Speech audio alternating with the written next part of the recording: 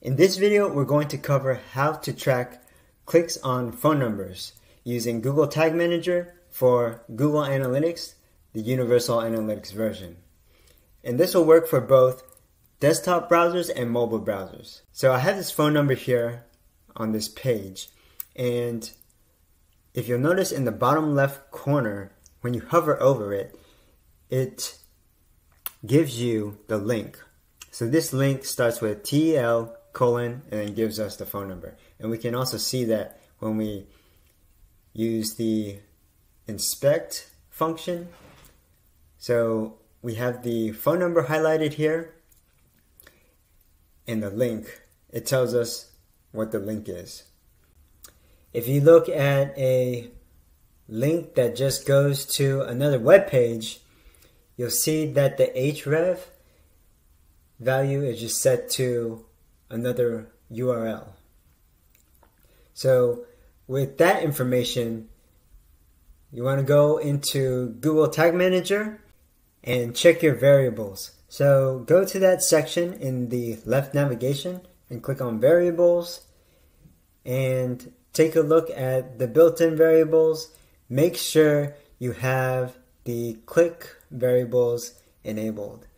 And if you don't, what you can do is click on configure and take a look at the variables. And what we really need is the click variables. So that includes all of the variables in, in this section. Make sure those are marked. And once you have that, you can go back to the overview section or the tag section and add a new tag. You can name this GA event phone click, phone number click. Click to add a new tag configuration and choose Google Analytics Universal Analytics and change the track type to event. For category, you can use something like phone number or contact. For the event action, that'll be click and label. You can use the variable for click URL. So you can choose that by either typing the double brackets to have a list of variables show or you can click this Lego icon and look for the variable that you want and choose click URL. Now I'll speak to the structure of this event tracking data. The way that Google Analytics reports event data is through this hierarchy. So in the top events report, it'll give you a list of the event categories that have been tracked. And you can drill down into each of those categories to see the action.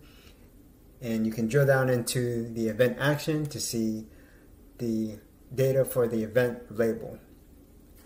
For the event category, I'm electing to go with contact instead of phone number click because I can categorize some other events under contact. So for example, if I'm tracking clicks on email addresses, that is mailto links, I can also categorize that under this event category of contact. And that kind of keeps the event reporting, the top events report in Google Analytics, a bit more clean. In this example, the event label would denote whether the click is on a phone number and if you also have tracking for email addresses, it would also be noted in the event label as well because the phone number link starts with tel colon and email address links start with mailto colon. But you could also differentiate links if you wanted to categorize them at the event action level, you could use something like phone number click for phone number specifically, and then for email clicks, you could name the event action email address click. So that's another way you could categorize the events at the event action label. You can keep this non-interaction hit set to false. So that means when this event fires, when a user clicks on the phone number, then it will count as an engagement from the user. And then for the Google Analytics setting, make sure you configure this so that you are sending this event to your Google Analytics. So you'll either have a settings variable already configured or you can enable the overriding settings in this tag and add your tracking ID here. So I have the tracking ID in already in the settings variable. So I'm going to choose to use this variable that I've configured. Go down to the triggering section, choose to add a new trigger by clicking in that section and we'll create a new trigger and we'll name this phone click phone number click trigger. Click in this area for the trigger configuration and choose under click just links and then switch the radio option to some link clicks. And then for the first drop down here on the left, we're going to look for click URL. And then change the middle drop down to starts with and in the right field we're going to type in tel colon. So this event tag will fire whenever a user clicks on a link that includes or that starts with tel colon.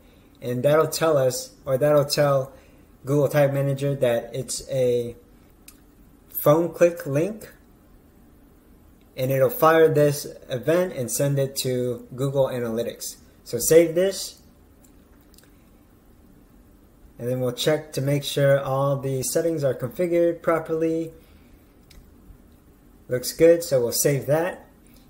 And now we'll preview the tag. So we'll grab the website or the URL that we want to preview this on and click on connect. Alright, so the tag assistant, the preview mode is connected and we'll go to the page where our phone number lives. And here's our phone number down here. So we'll click on that and it just brings up this notification here. But if we go back to our, our preview page, let's click on continue and we see that our phone number click event has fired.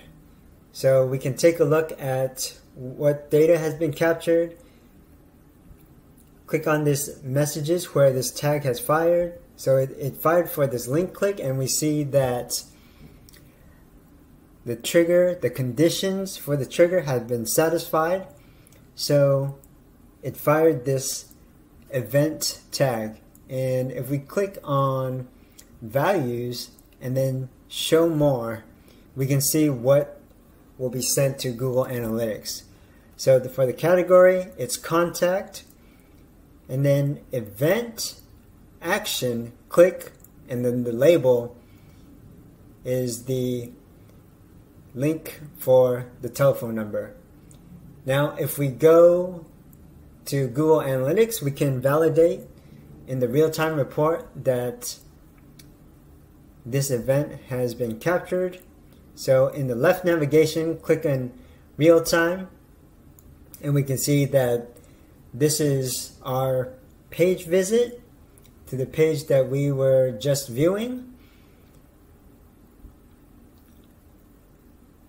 And you can click on events under real time and we see that our contact event has fired. So if we click on events, we can click into contact, see the event action and the event label. So there it is. There's the configuration for tracking phone numbers with GTM and Google Analytics Universal Analytics version. So please like, subscribe, leave a comment if you found this helpful, and we'll see you in the next episode.